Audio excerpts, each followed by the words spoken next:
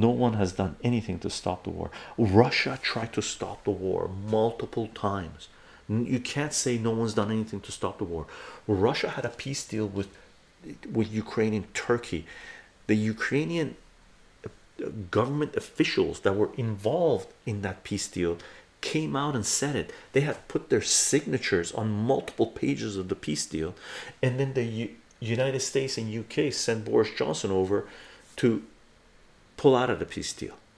Russia has been pushing for peace in ukraine since 2014 you cannot say no one has wanted peace no one wanted to no one wanted to stop the war.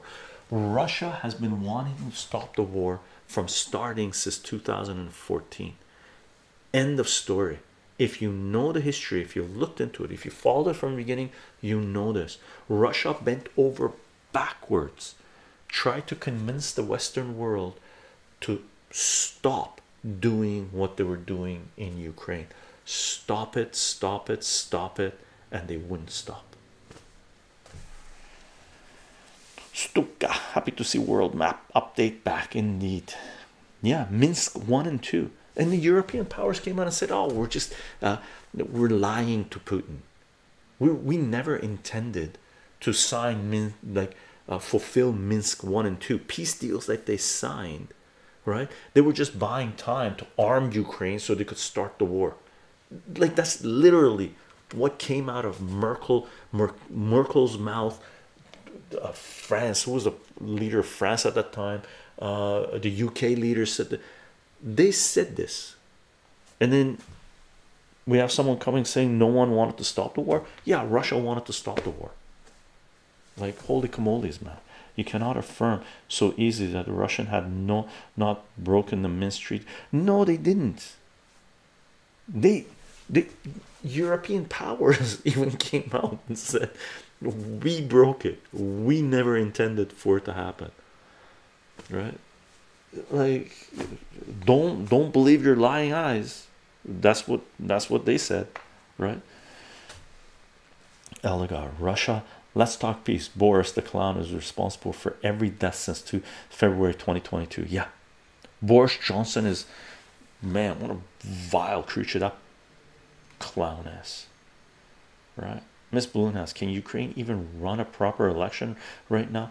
I'm not sure how much of their population is displaced. I'm not sure how elections happen in war zones. Seems too challenging to do, uh, but also terrible not to have an election process. Yeah, Miss Bloomhouse, Scott Ritter's talked about this. In Iraq, one of the first things they did to legitimize the occupation, United States occupation of Iraq, is to run elections it was a sham. It was scammy but they still ran the elections in Iraq. And Al-Qaeda and extremists they were blowing up polling stations. But people still went out and voted right? They had elections in a war zone in Iraq. Ukraine couldn't even hold elections in the western part of Ukraine right?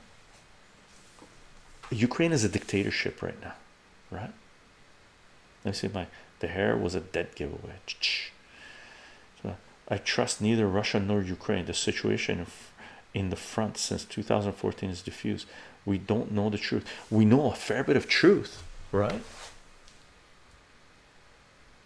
Uh, what's his name? Uh, the the UN ambassador. Uh, uh, F the E F the EU uh, uh, the clown oh what's her name? Uh, I forget her name. We know what the United States did. They installed the puppet regime there. We have the phone records. We have the we have the we have we have the bills. Like we know exactly what they did. Cosmic nor chycho I want to thank you for being so brave to share uh, share truthful information about politics. I'm not very well informed uh, about politics and the western news do not show the real picture. You uh, you are my go-to for accurate news. Uh, thanks guys uh, cosmic norris for uh, the kind words. But double check everything i say. Uh, really don't take anything i say as fact. I'm sharing and you know i get my dates wrong i get my names wrong. Uh, i mean paperclip and mockingbird i flip those guys wrong so check everything i say the main point I'm trying to get across is Western corporate media and politicians lie, lie, lie, lie, lie, and they have lied us into multiple wars. Right, Plutonic tourist, thank you very much. Look into Victoria F the EU Nuland phone calls of who they were going to put into in in place in Ukraine to govern Ukraine once the coup was done. Pass the cookies, uh, um, McCain, right? Pass the cookies, McCain and Nuland while they were handing out money. Like seriously, it, fucking the truth, the truth is out there.